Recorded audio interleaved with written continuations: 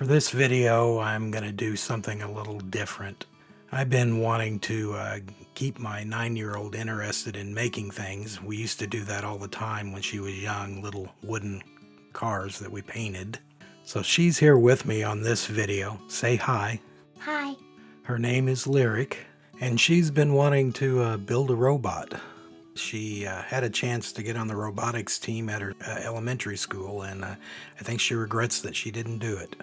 About the same time, Elecrow approached me about uh, whether I wanted to uh, build one of their uh, little bot kits. This kit is uh, designed for ages 6 and up, so it aligned well, so I said yes.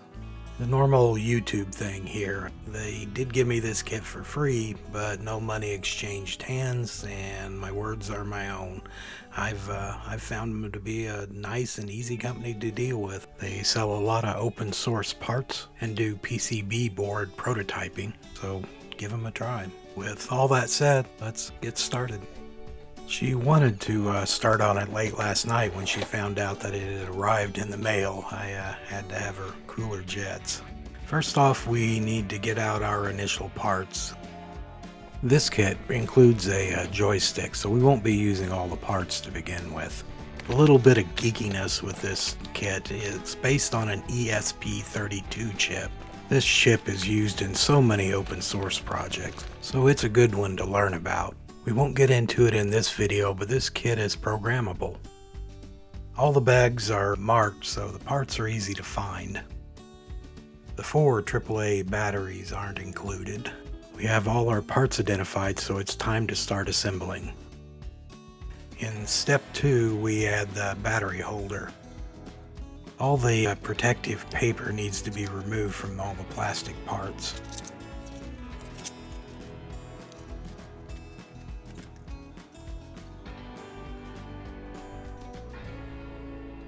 The batteries need to be added at this point because we're going to be adding the sides which will prevent them from being accessed.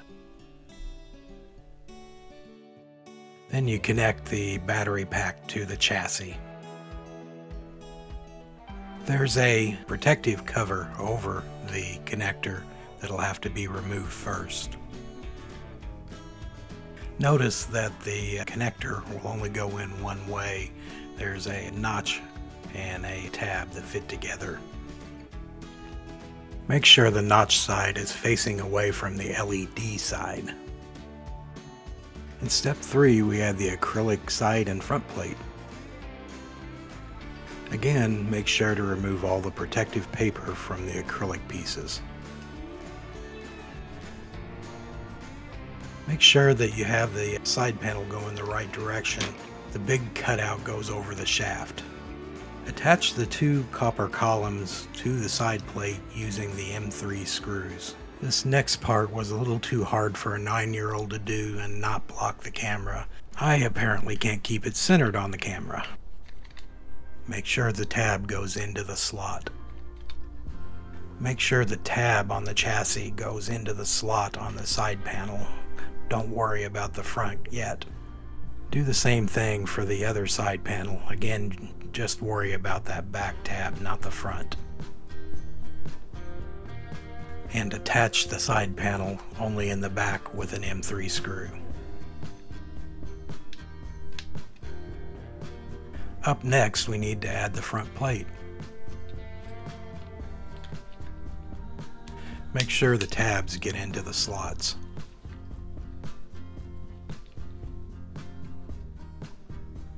Then add the final M3 screw. Make sure your tabs are in on the front now. In this step we add the wheels. Yay, the wheels. This is the inside of the wheel. Excuse the ink covered finger, she was writing down names for her robot in between shots. Notice there's a flat spot where the drive shaft goes into the wheel. And of course there's a matching flat on the drive shaft. Just align the flats on the wheel and the shafts and carefully press them on.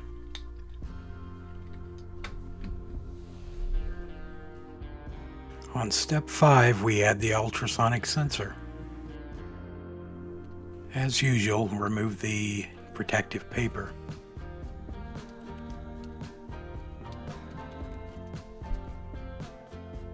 Pins on the back go into the connector on the front. Be careful not to bend the pins.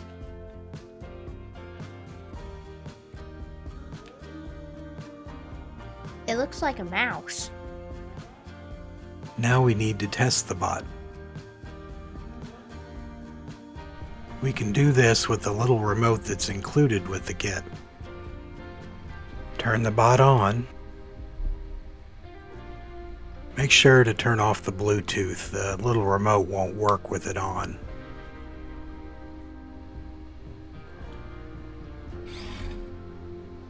It works. So now we need to build the joystick. To do this, we lay out our parts. Again, the batteries aren't included. We get started with the screen. Start by removing the protective cover from the adhesive on the back. And insert the pins on the back into the socket on the board. Make sure to not press too hard and crack the screen. In step 3 we add the top buttons.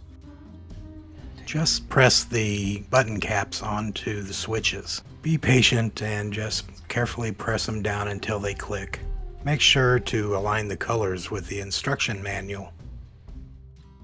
Next are the front button caps. Again, just carefully press them onto the front switches.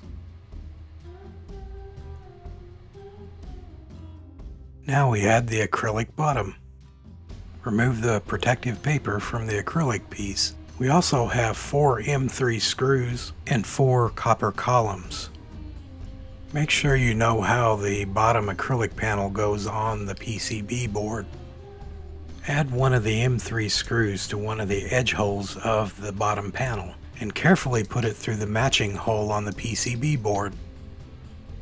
And then tighten one of the copper columns down on the screw. Make sure to not over tighten it and damage the PCB board. Repeat the same process on the other three screws and copper columns.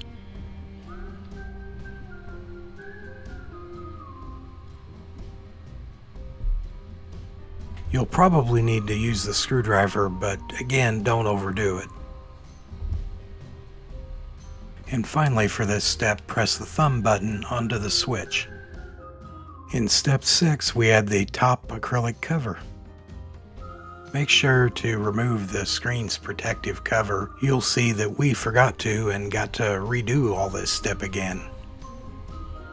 Add the front cover and attach it with the remaining M3 screws. Again, you'll probably need to use a screwdriver, but don't overdo it and crack the cover. In the final step, we just need to add the batteries. You just need to pay attention to what direction they go in.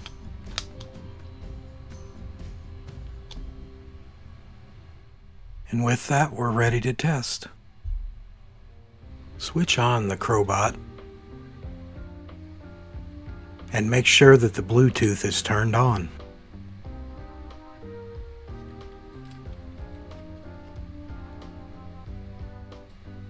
And then switch on the joystick.